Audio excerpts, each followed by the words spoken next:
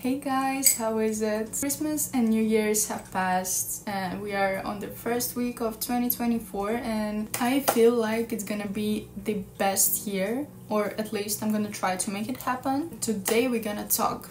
We're gonna talk about moving to Norway.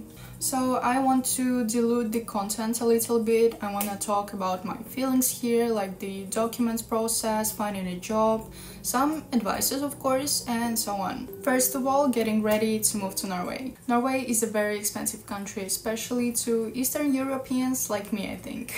the salaries are not giving definitely, so you need to save up pretty a lot of money before going here. Our budget for two people was 3000 euros, not including the rent that we paid before, which was 1,500 euros for the first month, and airplane tickets, about 300 euros. So think about saving maybe 4,000 or 5,000 at least. So for the first month, we rented Airbnb, which was uh, 1,500 as I said before.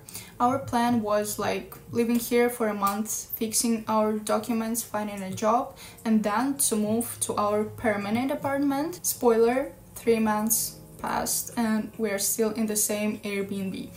Talking about life expenses, it's not bad though. We managed to spend about 400 euros a month to buy food and 100 extra like for kitchen and bathroom things. Regarding transportation here, you can buy a monthly pass to all of the buses, trams for about 80 euros, which is pretty good though, and will be better than to buy a single ticket every day. And slowly we're moving to the topic the document. It's the point where we realized we were delulu about getting everything done in a month. So first thing you need to do here is to book an appointment on the UDI website to get your Norwegian D number.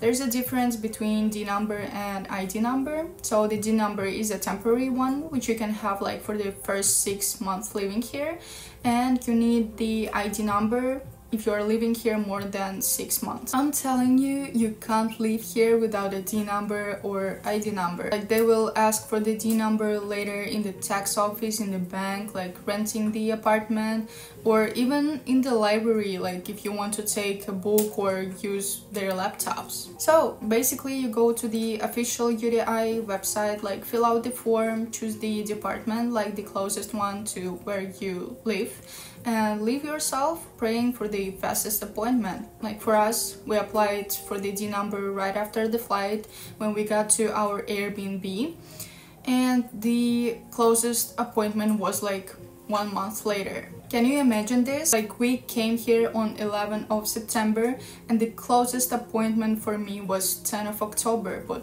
for my boyfriend it was like 25 of October. And keep in mind that you can't do pretty much anything here without it. Like for the first month here, you're just a tourist. These things stressed us out as hell. We were about to giving up actually. The realization that like we can't get a job, can't get another documents like bank and so on without a D number. And of course then we understood that we need to extend our Airbnb rent, like which was another 1,500 euros and we just didn't have it. Now let's get into advices for getting the D number faster. First of all, check the available appointments dates every day, like twice a day as often as you can, in case somebody will cancel it, but it never happened to us. I think a lot of migrants struggle with that, so these appointments are like hotcakes. After a couple of weeks waiting, we found another way to get the D number, so search out for the closest NAV office and you just go there without any appointment right before their opening hours. We got lucky and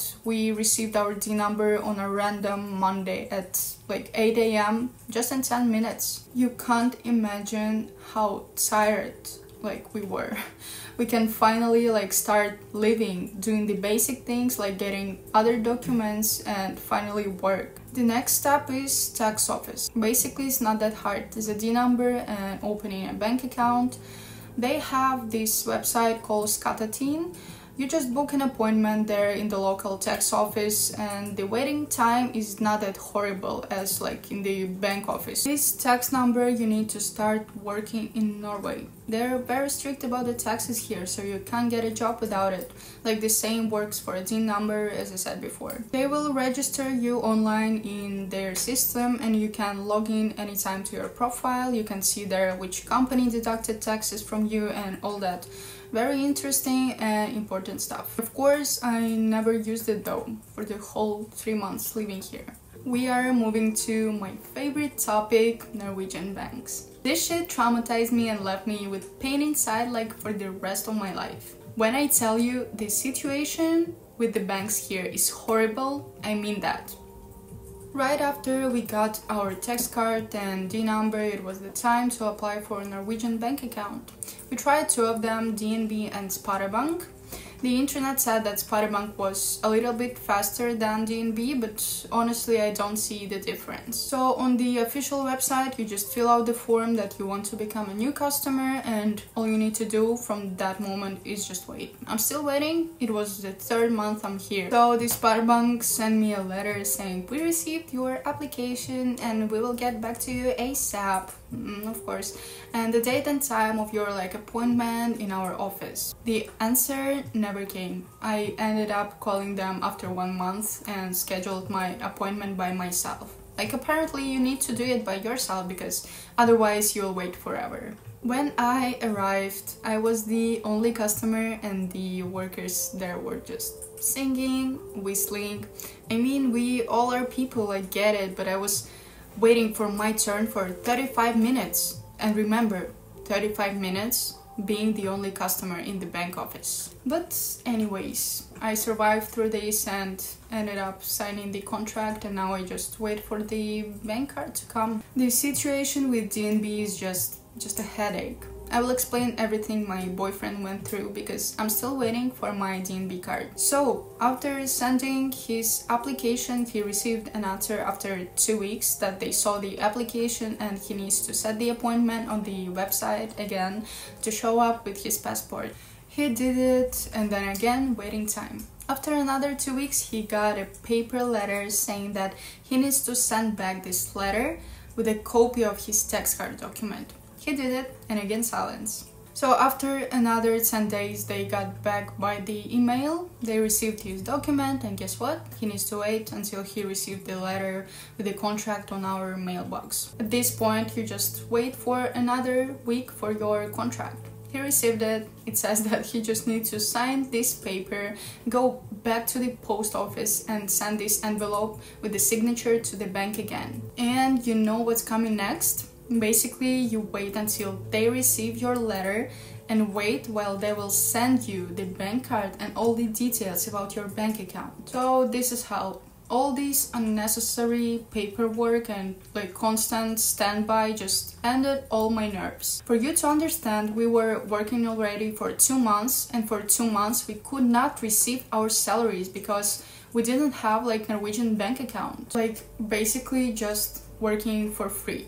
Of course, they're gonna send later all the money, but I can't explain how tired I was. I ended up working two jobs because I found a place that permitted me to receive salary on the International Revolut Bank this workplace was the only thing why we didn't become literally homeless because our savings were not enough to pay rent for the third month.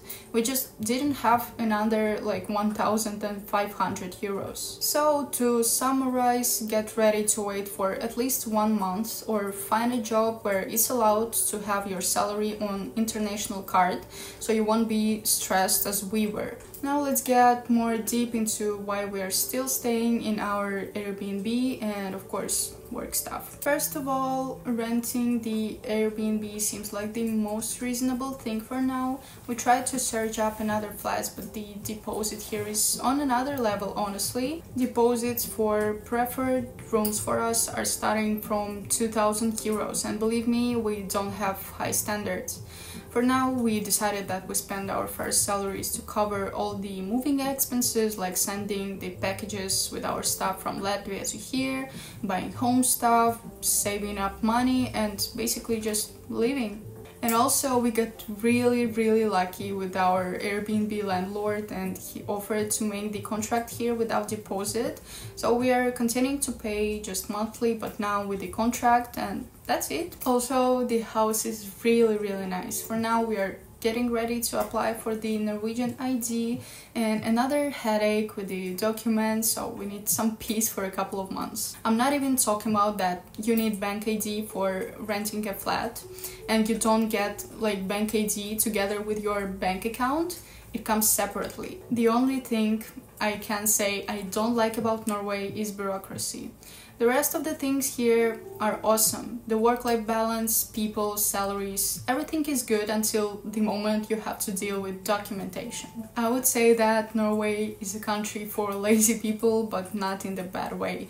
The full time at work doesn't feel like full time. For example, compared to Latvia, my monthly overwork here in Norway would be just a regular working month or even less working hours that it should be on a full-time job. Yes, of course, accommodation here is very expensive, but even paying the rent doesn't affect me that much. I still have money to cover all of my life expenses, save up and go like for extra impulsive purchases. Talking about the language, I would say that 90% here speak or understand English and it's pretty easy to find a job without knowing Norwegian. I talk to a lot of elderly people who speak perfect English and even small kids like, I'm truly amazed. Eastern Europe could never. But of course, learning Norwegian is a must. Please let's be respectful and if we came to another culture would be better to put an effort. I'm on my way of learning Norwegian. I can understand pretty a lot and talk a little bit, but honestly I'm too shy when it comes to talking. Are you thinking about moving to Norway? Just do it, you won't regret. I love it with every ounce of my soul. If you have any questions, let me know, I'll try to help, but I'm not a pro either, just sharing my experience step by step. If you have some tips, drop them in the comments. Love you and see you soon, bye!